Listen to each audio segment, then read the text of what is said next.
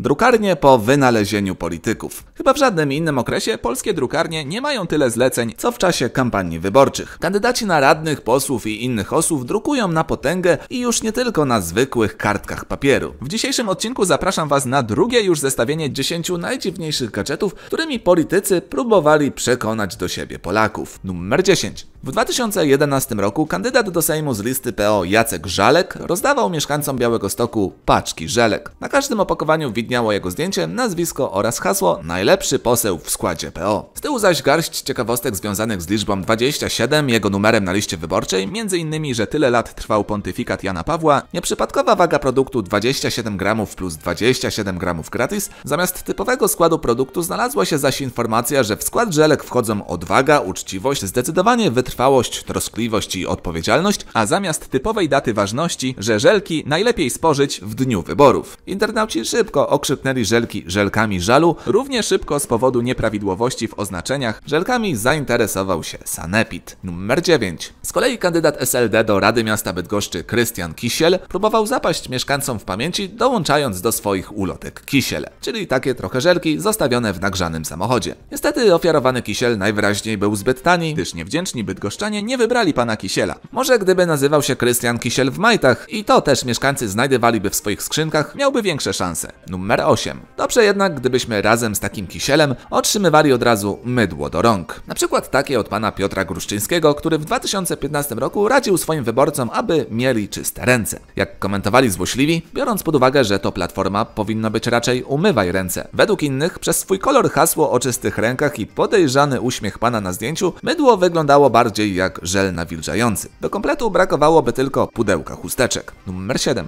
Anna Pieczarka, numer 1 na liście PiS do Sejmiku, w 2019 roku próbowała przekupić potencjalnych wyborców, wkładając im do skrzynek na listy drewniane nożyki. Prawdopodobnie do masła, jednak jak śmiali się internauci, czy to nożyk do pieczarek? Gdyby połączyła siły z Piotrem Masłowskim, który rozdawał masło, razem mogliby mieć wszystko. Ale to nie koniec. Niektórzy zamiast nożyka do masła, czy jak to woli pieczarek, od pani pieczarki otrzymali drewnianą szpatułkę. Możecie się śmiać, ale to i tak lepiej niż rok wcześniej, kiedy pani pieczarka rozdawała kawę trzy w jednym. Ciekawe na jaki pomysł wpadnie w tym roku. Mam nadzieję, że kupon do fryzjera. Numer 6. Zdecydowanie więcej sensu niż nożyk do masła od Anny Pieczarki miało sitko od Mirosława Sitko, kandydata na burmistrza Skoczowa w 2014 roku. Ofiarowane przez niego sitko w sitkowaniu musi nie mieć sobie równych, ponieważ pan Sitko funkcję burmistrza sprawuje już nieprzerwanie od 10 lat, skutecznie odsiewając innych kandydatów. Numer 5. Z kolei w Toruniu w 2018 kandydat Michała Zaleskiego do Rady Miasta Jarosław Beszczyński oprócz ulotek za wycieraczkami aut miał zostawiać mieszkańcom skrobaczki do szyb. Dobrze chociaż, że do szyb. Gdyby na podobny pomysł wpadli w lewicy, skrobaczki byłyby pewnie do ścianek maci. Numer 4. W 2015 roku lubelska posłanka Joanna Mucha była minister sportu, która zasłynęła m.in. pytaniem, kto wybierał drużyny do Superpucharu, próbowała zachęcić wyborców do głosowania właśnie na nią, rozdając im pilniki do paznokci. Jak komentowali internauci, zastanawiam się, co autor miał na myśli. W jej przypadku chyba już lepszy byłby lep na muchy. Można jej wydrapać oczy, trochę creepy. Inni doszukiwali się głębszego sensu w tym gadżecie, twierdząc, że pilnik to tak naprawdę ukryty przekaz, jak wyglądałaby Polska, gdyby w 2015 roku PO utrzymało władzę i zrealizowało niemiecki plan relokacji. Numer 3. Gadżetów nawiązujących do swojego nazwiska na szczęście nie rozdawał Marcin Warchoł, kandydat na prezydenta Rzeszowa. Wszak jak mówi słownik, Warchoł to osoba wywołująca kłótnie oraz zamęt. W 2021 roku rozdawał on za to mieszkańcom sadzonki drzew. Na sadzonki w 2015 roku pokusił się również Wojciech Sosnowski. I całe szczęście, że były to sadzonki